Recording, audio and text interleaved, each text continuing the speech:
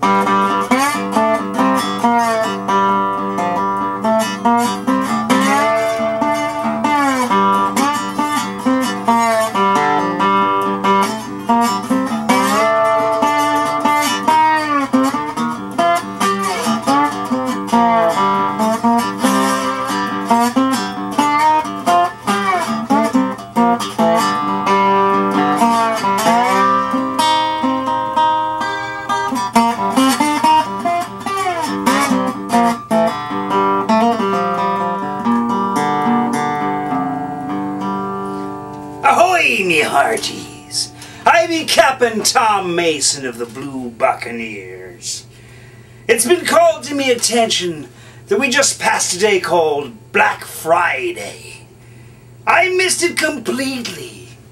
You can only imagine my disappointment. Sounds like my kind of holiday.